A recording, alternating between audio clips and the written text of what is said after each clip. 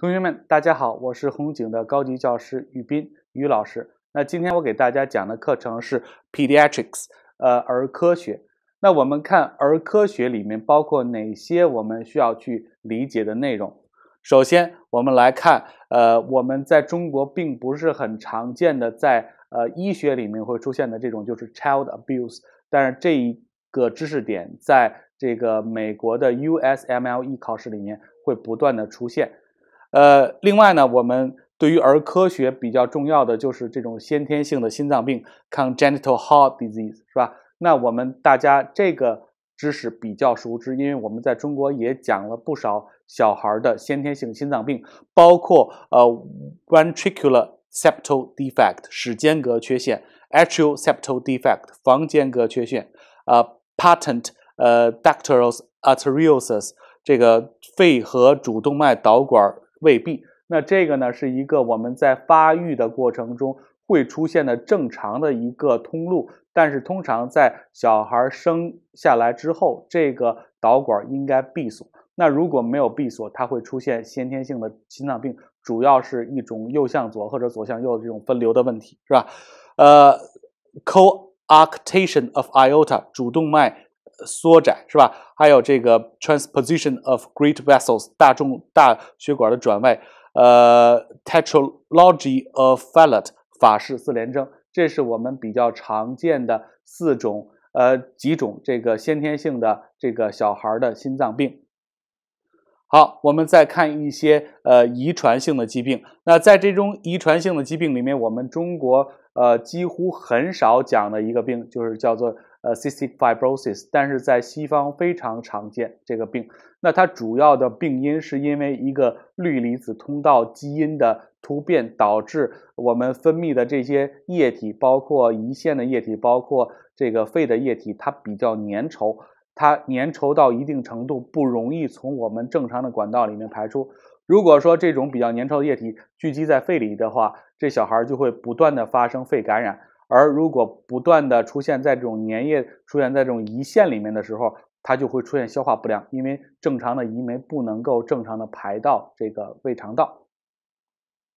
好，其他的这种胃肠疾病，包括我们中国比较常见的这个 interception 是吧？肠肠套叠是吧？pyloric stenosis 这个幽门狭窄，呃，Meckel's diverti 呃 diverticulum。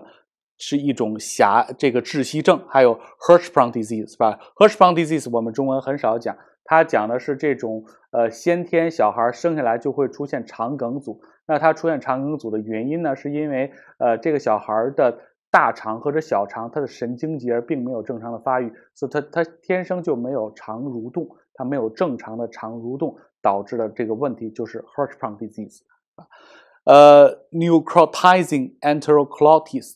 那这个问题呢，主要是出生出现在早产儿是吧，或者是比较轻的这种小孩里面，比较容易出现这种坏死性的小肠炎或者小肠结肠炎是吧？它可能跟这个血管壁的发育不完善和再加上一些细菌的感染是相关的。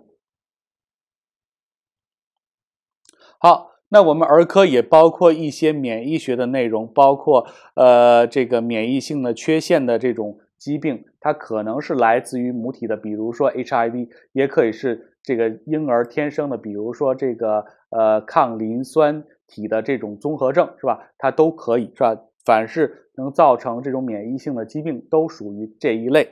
Kawasaki disease 是以这种 Kawasaki disease 为代表的。一类血管性的疾病，这一类的疾病我们在中文里面很少提到，也是呃 USMLE 考试里面比较重要的一部分，所以我们会在后面的课程里面着重的讲一下。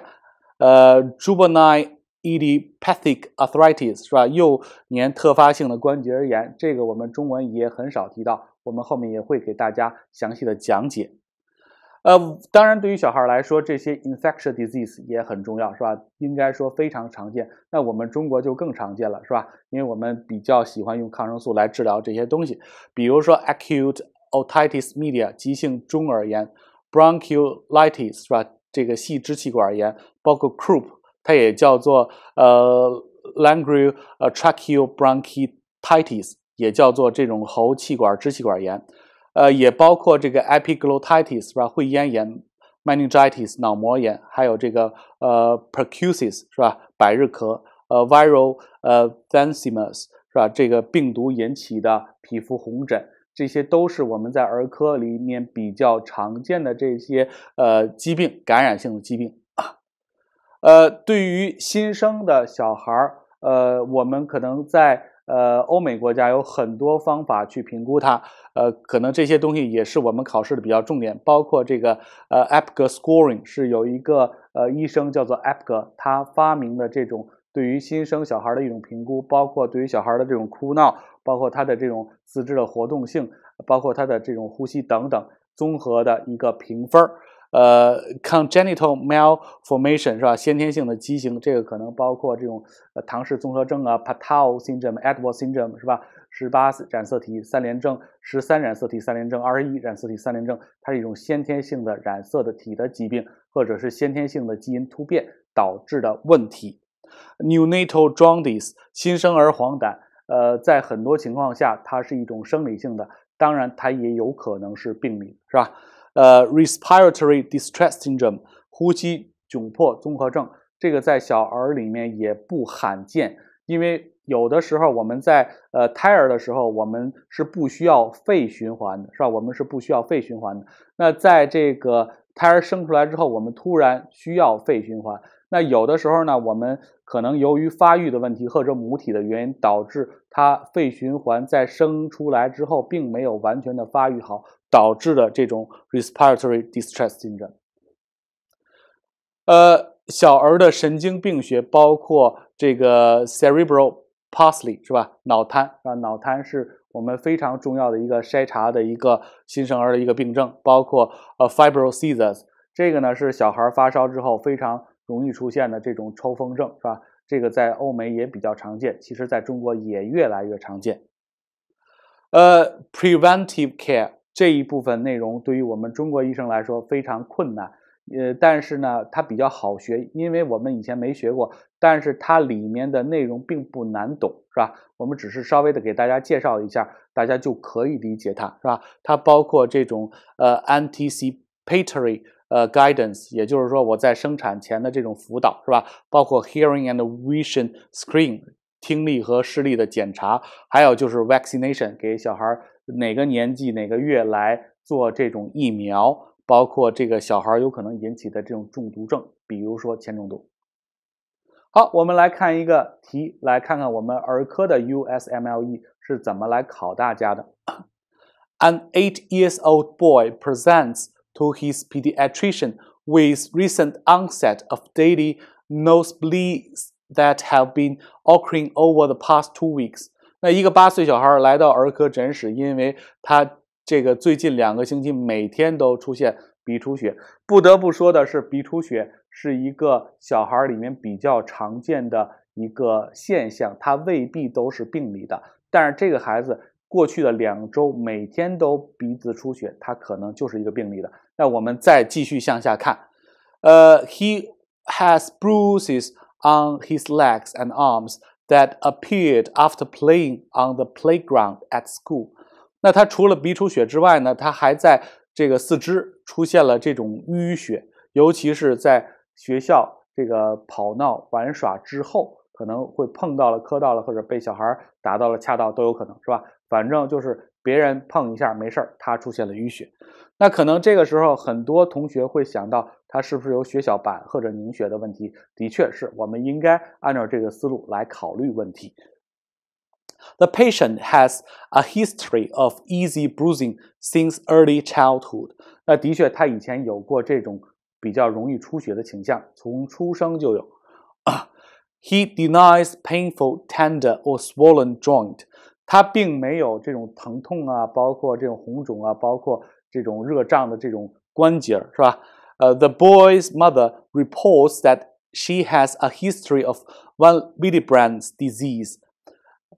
重点来了是吧？他的母亲说，这个孩子以前被诊断出来过得了这个 one 呃 Willebrand disease 是吧？所以他才有前面我们说的这些临床表现，这些这一下就都吻合上了。这个 one von Willebrand disease 是整个题里面最重要的一个信息词。A workup of one Willebrand disease would most likely reveal which of the following。那如果我们对 When Willebrand disease 来做实验室检查的时候，我们会发现什么样的情况呢？我们看 A increased bleeding time，然后 B normal 呃 coagulation factor concentration，C prolonged 呃 prothrombin time，D shortened partial 呃 thromboplasmin time，E 是吧？thrombocytopenia。那我们要回答这些问题，首先我们要知道什么是 One Willebrand disease。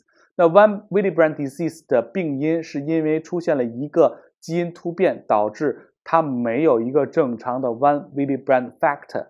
那什么又叫做 One Willebrand factor？One Willebrand factor 在凝血的过程中，它会和凝血因子八来结合，来参与凝血。所以，如果我们对于内源性凝血通路和外源性凝血通路稍微了解一下的话，我们应该知道它应该选的就是 C，prolonged 呃 prothrombin time。那 D 当然和它相反的就不会对。那 B，呃 B 这个选项呃非常有迷惑性。但是大家知道，如果 one Willebrand factor 和呃第八因子会结合的时候。当 one Willebrand factor 出现问题的时候，呃，第八因子也会相应的减少，所以 B 这个选项并不正确。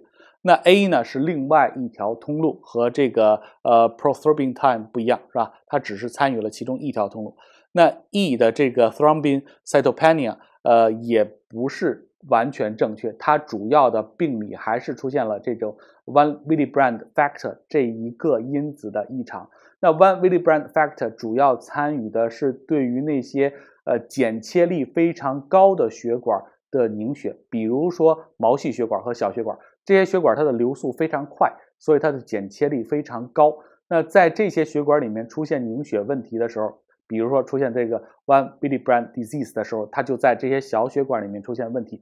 它这个病人主要的病状表现在小血管，比如说皮肤的毛细血管。比如说胃肠道的出血，包括鼻黏膜的出血这一类的问题，是吧？好，那我们这个前导课程就讲到这儿，谢谢大家。